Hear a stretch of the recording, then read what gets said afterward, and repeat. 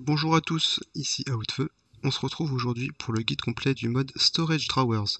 Ce mode ajoute des drawers qui stockent un item en grande quantité et peuvent même aussi le compresser automatiquement en bloc. Ce mode est une suite spirituelle des modes qui ajoutaient des barrels comme Yaba ou Jabba. Je vais commencer par vous présenter les différents types de drawers qui existent, sachant qu'il y en a trois types qui sont divisés en deux versions, une version bloc et une version slab sachant que la version slab stocke deux fois moins que la version bloc. Dans un premier temps, nous avons le 1 par 1, qui va pouvoir stocker 2048 items, soit 32 stacks. Donc on a sa version slab qui elle va stocker que 16 stacks. Ensuite, nous avons le 2 par 1, qui lui va pouvoir stocker 16 stacks de 2 items, donc toujours un total de 32. Et nous avons la version slab qui elle va pouvoir stocker 8 stacks par item. Et pour finir, il y a la version en 2 par 2, donc il stocke 4 items différents. Et pour chaque item, ça va pouvoir stocker 8 stacks. Et donc la version slab va pouvoir stocker seulement 4 stacks de chaque item. Tous ces drawers sont craftables dans tous les types de bois qui existent en Vanilla, sauf le mangrove qui n'a pas encore été implémenté. Donc cela vous laisse 8 possibilités différentes en termes de couleurs. Les drawers sont très simples d'utilisation. Pour mettre un item dedans, il vous suffit de choisir en main et de faire clic droit dedans. Sachant qu'à chaque fois que vous faites clic droit, ça met tout ce que vous avez dans votre slot sélectionné. Et vous pouvez aussi directement vider votre inventaire dedans avec tous les blocs compatibles en faisant un double clic. Ensuite, pour reprendre du drawer, c'est un peu le même principe. Si on fait juste un clic gauche, on les prend un par un. Et si on fait un shift clic, on les prend stack par stack sachant que vous pouvez aussi ouvrir un drawer en faisant Shift plus clic pour pouvoir voir ce qu'il y a dedans. Une fois que vous êtes dedans, vous pouvez pas prendre les items, mais par contre vous pourrez mettre des upgrades que l'on verra un petit peu plus tard. Ensuite nous avons les trims qui sont un bloc décoratif reprenant la texture des drawers. Donc pareil, celui-ci est craftable dans les 8 types de bois différents. Donc tous sauf le mangrove, qui n'a pas encore été implémenté. Nous avons ensuite le compacting drawers, qui est une version améliorée du Drawers classique. Donc celui-ci, contrairement à normal, va pouvoir stocker 128 stacks, donc 8000 items. Et surtout, il a une capacité en plus qui est de pouvoir compresser automatiquement les blocs. Donc si vous voyez, donc quand je retire ce qu'il y a dedans, ça va aussi retirer automatiquement ce qu'il y a dans l'autre. Et il va pareil quand je vais remettre dedans, il va automatiquement reconvertir. Ce qui lui permet de pouvoir stocker jusqu'à 10 000 stacks d'un item si jamais c'est des nuggets par exemple qui sont compressables deux fois. Ensuite nous avons le Drawer Controller qui va vous permettre d'interagir avec plusieurs drawers à la fois. Donc par exemple si je prends ce petit setup là où c'est que j'ai mon drawer au milieu, euh, mon contrôleur au milieu, drawer sur les côtés et un petit hopper haut, si je mets dans les hoppers des items, le contrôleur va automatiquement redistribuer autour. Et pareil, je peux aussi me servir du contrôleur pour pouvoir directement ranger mes items dedans. Donc par exemple, si je fais clic droit, ça met dedans. Et si je fais double clic, ça range tout ce qu'il peut. Et après, vous pouvez aussi vous en servir pour retirer des items. Donc si jamais j'active l'hopper en dessous, ça va aussi commencer à retirer les items qu'il y a dedans. Ensuite, nous avons le Drawer Controller Slave qui agit comme une extension du contrôleur. Donc pour fonctionner, il doit être forcément connecté à un contrôleur existant. Donc par exemple si là je mets quelque chose dans le rien ne se passe. Par contre si je connecte via des drawers jusqu'ici, il va commencer à fonctionner et donc là on peut voir qu'il y a les gold ingots qui se sont rajoutés directement ici et que ça commence à se vider. Le slave vous permet tout simplement d'accéder à, un autre endroit de votre contrôleur. Et après pareil, il vous permet donc d'insérer mais aussi de retirer. Donc pareil si je désactive, ça va aussi commencer à vider ce qu'il y a là-bas. Ensuite, nous avons les clés qui vont vous permettre de modifier l'affichage des drawers. Vous avez la drawer key qui va vous permettre de bloquer un drawer, la quantify key qui va vous permettre d'afficher ce qu'il y a dans un drawer, et la concealment key qui va vous permettre de cacher ce qu'il y a dedans. Donc par exemple, si je viens ici et que j'utilise la quantify key, ça va afficher le nombre d'items qu'il y a dedans. Donc comme on peut le voir, il y en a 64. Pareil, si jamais je modifie, on voit le chiffre qui se change en direct. Ensuite, nous avons la Drawer Key, qui va rajouter un petit icône au-dessus une fois qu'elle est activée. Et ce qu'elle fait, c'est tout simplement que le drawer va se rappeler de l'item qui est dedans. Donc là, comme on peut voir, j'ai beau l'avoir vidé, on voit toujours qu'il a le grass block. Et enfin, nous avons la Concealment Key, qui elle va tout simplement cacher ce qu'il y a dedans, en affichant une petite icône pour bien montrer qu'on euh, s'est caché. Nous allons maintenant passer aux upgrades. Pour cela, il vous faudra crafter des upgrade templates avec n'importe quel type de drawers au milieu et 8 sticks, sachant que celle-là va être utilisée pour crafter toutes les autres upgrades. On va commencer par la conversion upgrade, qui est une upgrade qui va convertir les types d'items identiques selon leur hors dictionary.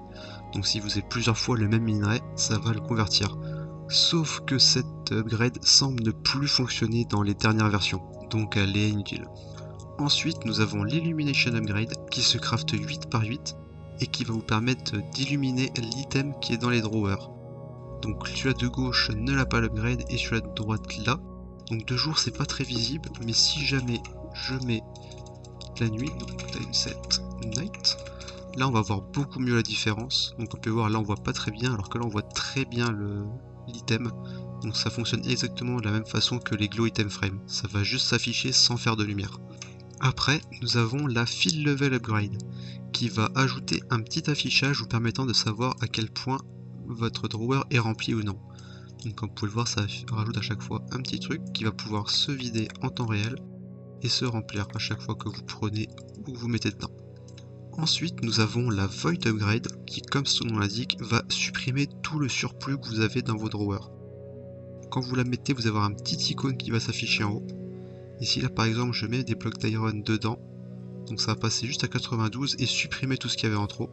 Et pareil, si on met dedans avec un hopper, ça va juste les supprimer. Donc si j'en prends quelques-uns, ça va jusqu'à la capacité max et après ça va supprimer le reste. Donc c'est une upgrade qui est très utile si vous avez des farms pour éviter bah, le surplus. Et maintenant nous allons passer aux upgrades redstone. D'abord nous avons la redstone upgrade, ensuite la mine redstone et puis la max redstone upgrade. Ces trois upgrades agissent de manière identique si jamais votre drawer n'a qu'un seul slot, mais ont des situations différentes s'il en a plusieurs. Vous avez ici un exemple pour chaque upgrade.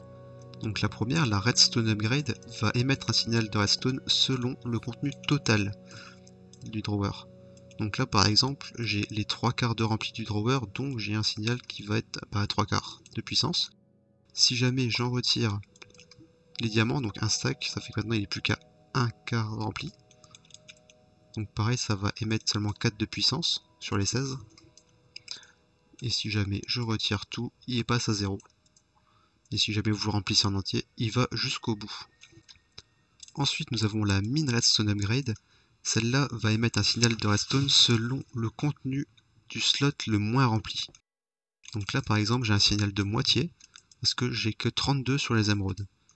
Donc si jamais je retire les émeraudes, là on passe à 0, parce que le slot le moins rempli est à 0. Et pareil, si jamais je remets les émeraudes, mais que je retire les diamants, ça fait la même et ça met à 0. Car le slot du haut maintenant est vide, ce qui fait que c'est le minimum. Et pour finir, donc la max redstone upgrade, qui est l'inverse de la mine. Donc celle-là va être selon le slot le plus rempli. Donc là, on peut voir, j'ai le slot des diamants qui est rempli, donc à un stack. Ce qui fait qu'il va jusqu'au bout. Et si jamais je le vide, là ça va aller jusqu'à la moitié, ce que le plus rempli. Et les, émeraudes qui sont à la moitié. Et si je retire les émeraudes, là on à 0. Donc si je mets juste les diamants par exemple, là on va retourner à fond. Et maintenant nous allons passer aux upgrades les plus intéressantes, celles qui modifient la capacité de stockage. La première est la storage downgrade, qui elle va diminuer la capacité maximum de votre drawer à 1 stack. Comme vous pouvez le voir, celui-ci est rempli, alors que normalement de base il est censé faire 128 stacks. Et cette downgrade se craft avec 2 flint. Ensuite nous avons l'upgrade de tier 1, elle se fait avec 2 d'obsidienne et va doubler le stockage, donc on passe de 128 à 256 stacks. Ensuite il y a la tier 2 qui se fait avec de l'iron et elle va quadrupler le stockage, donc x4, et fait passer à 512 stacks. Ensuite la tier 3 se fait avec de l'or et fait un x8, donc 1024 stacks. Ensuite nous avons le tier 4 en diamant qui fait x16, soit 2048 stacks. Et enfin, nous avons la tier 5, qui est fait avec des émeraudes, donc euh, moins cher que celle en diamant, et qui elle va faire un x32, donc 4096 stacks. En plus de cela, si vous regardez dans les drawers, vous avez plusieurs slots et vous pouvez mettre la même grade plusieurs fois. Donc je vais vous montrer la capacité que vous pouvez obtenir en mettant plusieurs fois le grade de tier 5. Donc de base, sans ce grade, on est à 128 stacks.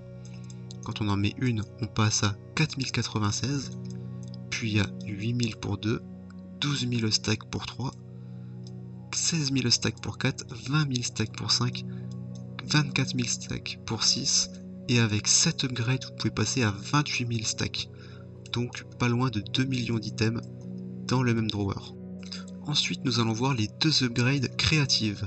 Donc il y a la Creative Vending Upgrade et la Creative Storage Upgrade. La Creative Storage Upgrade est la plus simple des deux. C'est juste une upgrade qui va vous permettre de pouvoir stocker jusqu'à un petit peu plus de 2 milliards d'un item dans un bloc. Donc comme vous pouvez le voir là j'ai mis 2 millions 6 déjà dedans, mais ça a même pas commencé à se remplir. Et ensuite donc la Creative Vending Upgrade, qui est dans le même style sauf que celle-là elle va tout simplement vous permettre de prendre à l'infini dans un bloc. Donc je peux prendre à l'infini jamais ça s'arrêtera. Et pareil vous pouvez aussi remettre dedans à l'infini si vous voulez. Et maintenant nous allons voir l'addon Frame Compacting Drawers qui va vous permettre de choisir la texture que vous voulez mettre sur vos drawers. Cet add-on vous propose une alternative pour chaque bloc qui existe dans le mode de base. Et vous allez avoir trois types de façons de les faire. Les premiers sont ceux qui se font avec des sticks autour, et cela va inclure donc le drawer controller, le controller slave et le compacting drawer. Ensuite vous avez les crafts où vous allez remplacer les planches par des sticks, et ça ça va correspondre aux drawers normaux. Et vous avez aussi les trims où là vous allez inverser les planches et les sticks. Et pour finir, donc vous avez les demi-drawers, donc ceux qui sont faits avec des slabs. Vous allez remplacer partiellement les slabs par des sticks. On va commencer par voir comment appliquer une texture sur les trims. Donc comme vous pouvez le voir, il suffit de mettre votre trim et en haut à gauche le bloc que vous voulez. Et ça va vous faire un bloc spécial avec une texture spéciale. Sachant que vous pouvez le faire avec tous les blocs et tous les items du jeu. Donc si vous le faites avec un bloc normal, ça va rien changer. Mais si vous faites avec des blocs qui ont une texture particulière sur une face, ça va pouvoir vous faire des résultats intéressants. Et vous pouvez même le faire avec des blocs non complets, voire des items. Et donc pour voir comment ça rend dans le monde, donc là vous en avez un qui est normal, donc c'est de la smooth stone et il rend exactement pareil. Là vous en avez un fournaise et là avec un bookshelf. Donc comme vous pouvez le voir là vous avez la même texture chaque fois sur tous les côtés. Et donc ici derrière vous avez avec un bloc non complet, voire avec les items. Donc ça peut aussi faire des blocs assez particuliers si vous voulez afficher un item en tant que bloc. Ensuite pour les drawers, vous avez quatre façons différentes d'appliquer les textures. La première, donc c'est comme pour les trims, c'est juste vous mettez votre drawer et en haut à gauche un bloc. Ce qui fait qu'il va prendre entièrement la texture, donc là par exemple c'est de la smooth stone. Ensuite la deuxième façon, donc c'est toujours pareil en haut à gauche et un à gauche. Donc celui-là qui est en haut à gauche ça va être tous les côtés et celui qui est à gauche va être juste le devant. Comme vous pouvez le voir, tous les côtés sont en oni et le devant est en slime.